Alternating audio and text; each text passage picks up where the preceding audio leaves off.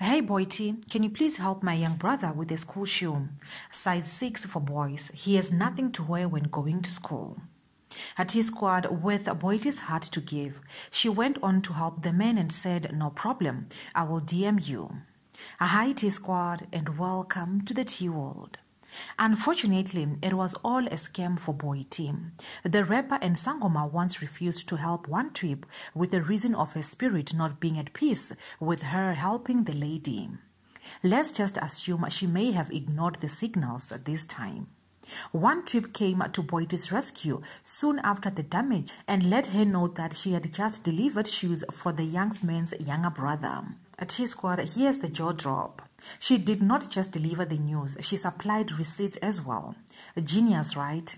Well, such action can be very discouraging to people of good hearts and intentions who are aiming at helping others. Because you never know whether the person is genuine or not, but we are glad that Boity was not shaken by the matter. Boity chose to stay positive and said, It happens, it's okay.